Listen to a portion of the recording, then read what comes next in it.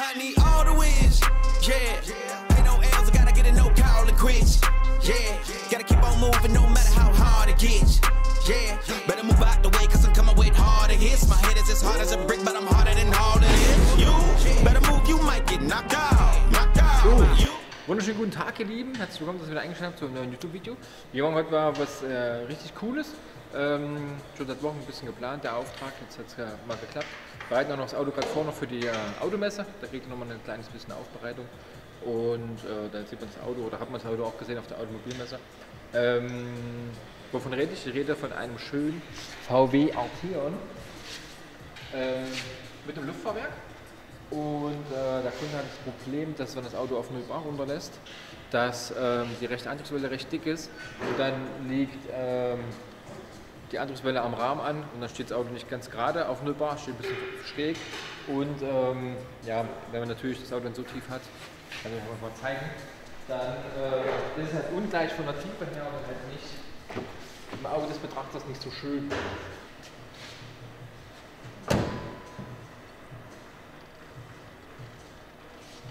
Das ist schon knirsch.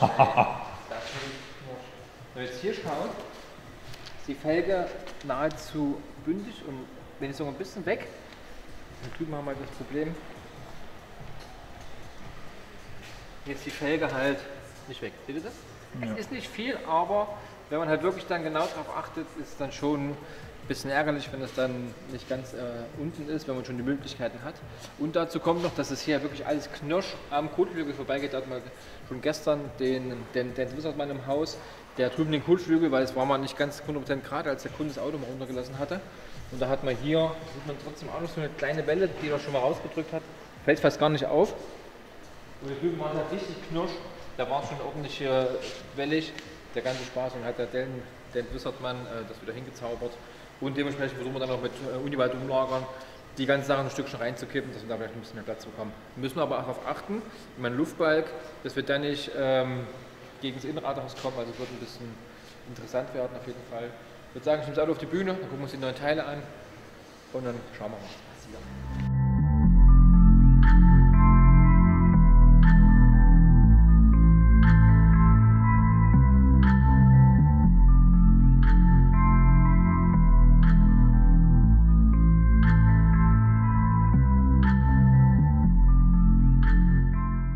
Crazy. Camcorder läuft. Camcorder läuft. So, hier ist die Welle. Wir haben nämlich hier äh, einen Sechsgang DSG. Ja, ist ein Sechsgang, glaube ich. Ähm, und er hat halt eine richtig dicke Welle, richtig dicke Welle, richtige Welle rechts. Und ähm, es gibt eigentlich keine dünne Welle, aber ich habe mich ein bisschen aufs Internet gestöbert und habe dann halt die Welle jetzt nach Bildern gekauft. Das hier dünner ist. Wir müssen noch mal gucken, wir jetzt ausbauen, wie viel dünner sie eigentlich wirklich ist. Aber wir hätten, na gut, messen hätten wir jetzt nicht vorher können. Dann sieht es halt dann das bisschen dünner aus. Okay. Uniball-Domlager.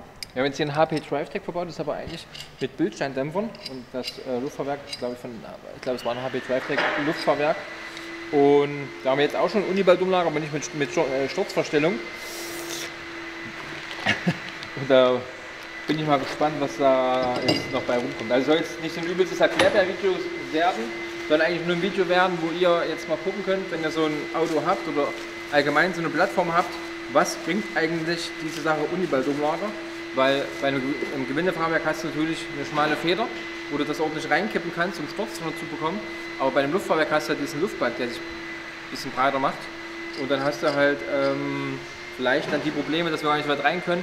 Und vielleicht ist es sogar eine sinnlose Investition, weil kosten ja auch 300 Euro. Nicht teurer. Nee, 300. Gibt von Airlift welche, da kostet es Paar, ne, da kostet das Stück 300, hier kostet es Paar 300 Euro bei mir Bar auf der Seite. Und die Welle habe ich auch 300. Die gibt es auch von verschiedenen Herstellern, oder? Genau. Hat H&R auch welche? Wir haben als Beispiel beim Dome seinem Seat, der hat ja das Low-Tech Megalow drin, da haben wir jetzt uns äh, einen Teller gefräst, dass der Teller hier, der hier dran ist, in den Teller passt von, von dem Low-Tech Fahrwerk. Ich habe das TV aufgedreht, dass das reinpasst. Und der Und Dome äh, wie bitte? was der Dome für welche? auch die. Ach, auch die. Aber die aber halt umgebaut auf das Low-Tech Fahrwerk, Ja. weil da braucht man ja Sturz. Und bei Low-Tech gibt es ja nur die mit dem festen Mehrgrad Sturz. Und da habe ich jetzt äh, den Federteller das kommt hier so dran. Wird das hier reingebaut. Und hier sitzt das äh, in dem Luftfahrwerk drinne, dass das halt da gestützt ist. Und bei Domo sitzt das dann jetzt hier in dem Federteller drinne. Jetzt die, wie mir so gedreht hat mit einer kleinen Nut dran, dass das hier reinrutscht und ich dann halt auch nicht wegbewegen kann. Ja. Die, Daumen, die, die Lage dann kannst du einzeln immer austauschen, weil ist jetzt nicht immer so lang, langlebig, weil du hast ja hier kein Gummi, was irgendwas dämpft. Da hast du halt immer die Schläge dann auf dem, auf dem Lager. Das Ich habe meine immer gefettet. Genau, Immer Fett drin. Genau, genau. Hilft auch, aber irgendwann ist es dann halt auch vorbei. Ja. So, jetzt sagen wir hier mal schnell hoch, mach die Räder. Dann gucken wir mal. Gut. Willst du schnipsen? Das war in dem anderen Ich Video ganz cool. einfach, Ja. Geile Meile, ey. Warte mal, kommt aber auch. Länge her, doch passt. Bisschen kürzer sieht sie fast aus, oder? Ja, kürzer ist er auch noch, guck Ist das mal. schlimm? Eigentlich nicht. Tiefer Auto ist sogar schöner. Wenn es kürzer ist. Wir werden das hier noch ein bisschen rausziehen. Ja. Das geht schon. Das geht schon. Die Schraube nehmen wir natürlich nicht, nehmen wir eine schöne originale Schraube wieder. Ja, perfekt. Und der Verzahnung sieht zwar irgendwie anders aus. Siehst du das? Aber ich habe Originalnummer verglichen. Du das? Sieht irgendwie dünner aus, und das kommt mir nicht so vor. Wir machen jetzt mal hier so einen Check-Check. Ne, passt. Dann nur ein bisschen länger, aber ist nicht schlimm. Das sieht nur so, ah, hier, weil hier das Gewinde bis Rinder geht und hier nicht. Ah, Guck. Nur das Gewinde Ja. ein bisschen länger, also nicht. Geil, ey. So, das messen wir nochmal mit einem schönen Masquerade. also schon ein Unterschied. Das ist schon schön, das sind ein paar du einen Messschieber gesehen, Max? Ja. Lehrlinge wissen immer, wo alles ist. Weil sie müssen es ja mal aufräumen. Komm, welches kann man drin?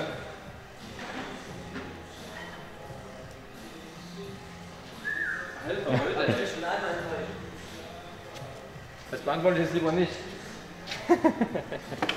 So, wir messen nun im Moment, hier sieht man auch schon, vom bisschen zu tief fahren, dass er hier mal Ja. stabil geschliffen hat. Oder bei einer Polizeikontrolle auf 0 Bar. Ist das Auto noch fahrbereit? Ja. Ja. So, wir haben jetzt hier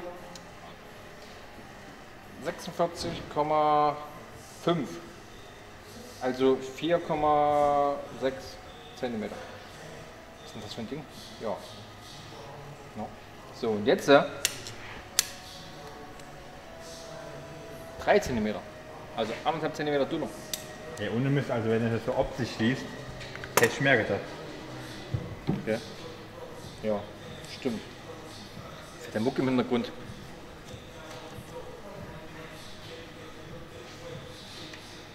So, wieder reinstecken, immer schön Fetten dabei. Vorne auch. Dann wieder reinstecken, den Spaß. Ging jetzt echt easy, gell? Ich hab bloß gedacht, du willst da Aufwand. Ja, hab ich gedacht.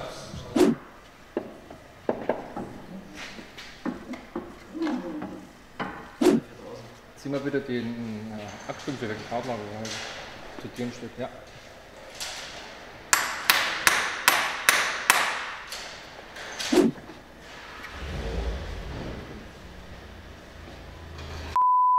Alter. Schade, wir haben glaube ich gerade gar nicht mitgefilmt, aber sowas wir können auch mal zeigen, dass nicht immer alles Friede, Freude, Eierkuchen ist. Man Ein bisschen was, bisschen was drauf, wie ich dann anfange zu schwitzen. Also ich schwitze immer noch. Selbst Niklas hat jetzt geschwitzt. Neue Welle. Die ging nicht weiter rein. Ich habe hier drauf gepocht, dass die reinflanscht. Aber hier, da haben sie anstatt den Sprengring den reingemacht. Und mal gucken, ob es jetzt vielleicht reinrutscht, weil Verzahnung passt. Ich kann das nochmal gegenüberhalten. Ja, ach, ich muss mal einen Schluck trinken. Wir haben gerade echt mit zwei Hebeln und gewirkt und gemacht.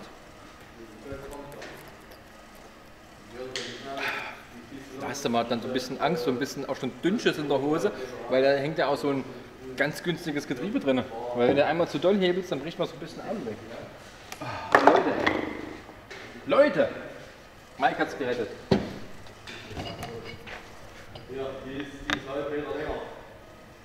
Wer? Ja,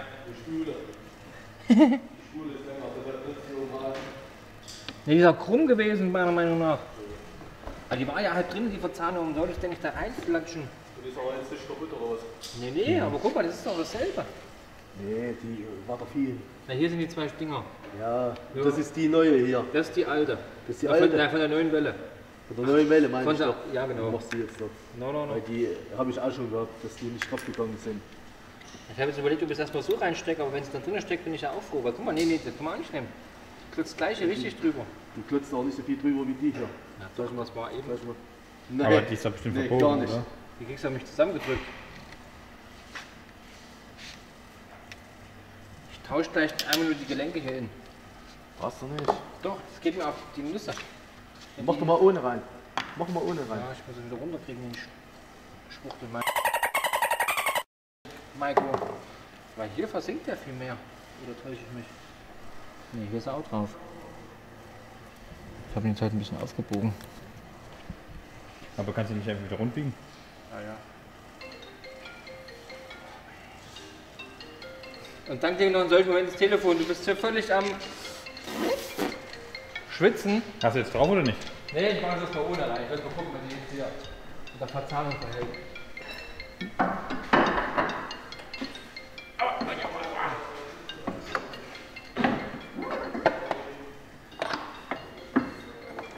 Klang jetzt gut. Das ist auch gut. Nee.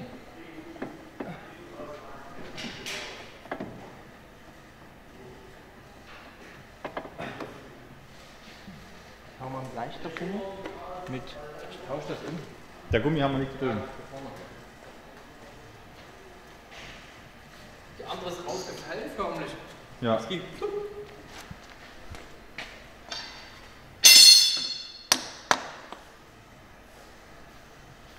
Ist irgendwann ins Augen gerutscht. Ja, ja. Trina. Trina. Trina. Kleines. Ich wollte jetzt gerne einen richtig bösen Ausdruck sagen. Ne, wir haben doch Wadig. Delfinisch. So, jetzt pass auf, jetzt pass auf, jetzt pass auf, jetzt passt es hier vorne nicht. Günter Gottslopoulos. Sind jetzt optimistisch. Das ist einfach nur die Bestrafung, weil Niklas mich gefragt hat, geht das schnell? Und ich, na klar. Junge, schnippst mit den Fingern, dann geht das.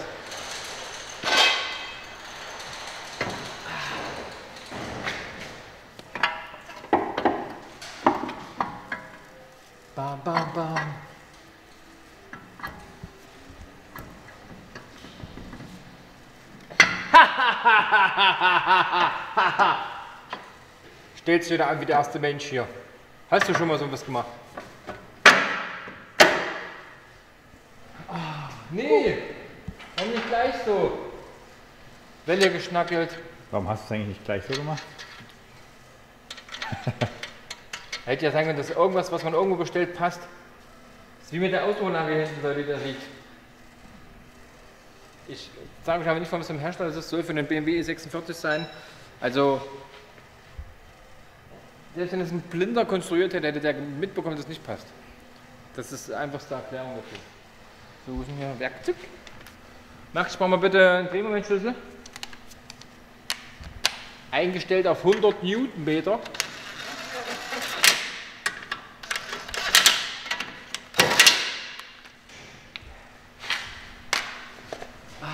Bin ich ein bisschen beruhigt, bin ich jetzt. Ein bisschen. Wunderschön. Mike ist richtig bei Facebook unterwegs, gell? Weil die in so einer wilden Gruppe hier. Wie heißt die Gruppe? Ich hab's vergessen. Fortuners. Nee. Äh. Aber wie man zählt, wenn sich austauschen können. Ja, da schreiben andere Schrauber hier in Mike seinem Alter, denke ich mal. Oh, verkehrt rum. Da schreiben die hier Fahrzeugprobleme rein. Schrauber, Schrauber, wie nennen sie sich? Ach, Schrauberrabaugen oder irgend sowas.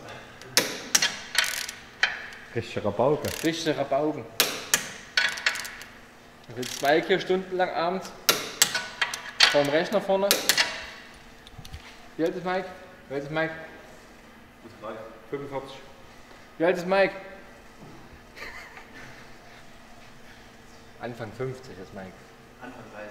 Anfang 30. Er fühlt sich wie 30 jetzt. Dann sitzt Mike mit Anfang 30 vorne vor Facebook, also muss er aufpassen, der ist auf Jagd.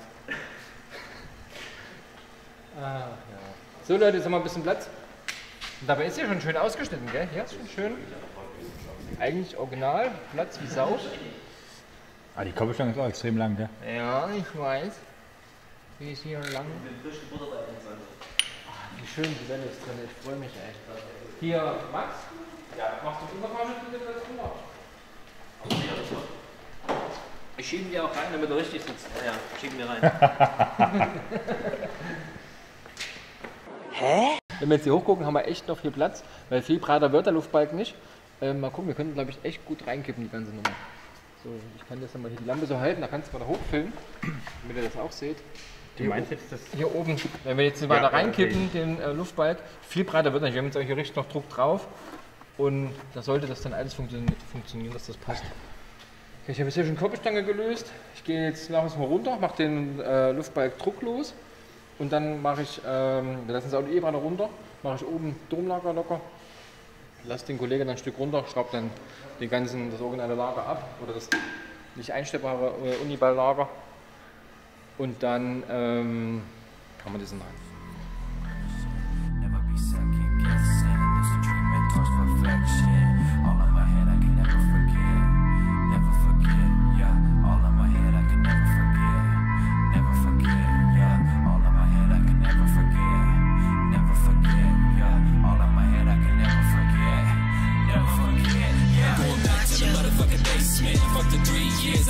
Patient. Got my sanity risen. I'm trapping this tension. These bitches are tripping. You better keep up if you're chasing. Tasting the blood of a virgin. Open you up like a surgeon. Closing these curtains. These bitches be skirting. There's one thing for certain. I feel like I'm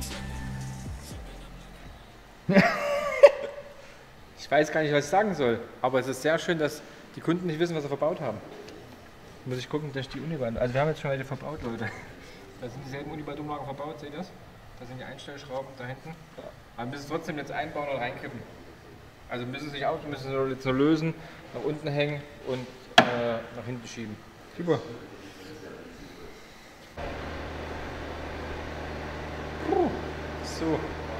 Ging mehr recht als schlecht als recht oder wie auch immer man es sowas nennen mag. Wir haben es hinbekommen. Ich fahre jetzt mal ein Stück vor. Ähm, mal gucken, ich glaube, es ist fast zu viel Sturz, also vom, von der Optik her. Mal schauen, was es so wie es aussieht.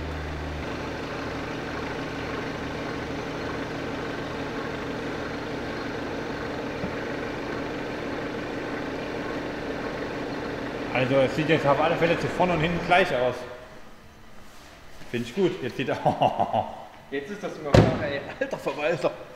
Jetzt hat er, glaube ich, das, was er haben wollte. Also ich glaube, das musst du nicht nochmal umbauen. Nee, oh, geil, ey. Wenn ich das jetzt schick rutsche, wo wir bei uns der Schlüpfer aus der Hose. Und auf beide Seiten gleich. Er hat nämlich hier, er kam wirklich an, oh hier Jörn, guck mal. Auch Theon hier, da ist die Felge versenkt, wie macht denn der das? Na, wir müssen, die Welle müssen wir gucken und nach dem Uniball-Umlagen, wenn du keine hast. Nee, nee, ich habe keine. Und meinst du, meinst du, dann haben wir ewig rum. Oder ich ihn jetzt nachher anrufen und sage, ey, Digga, du hast schon welche. Da freut er sich erst recht.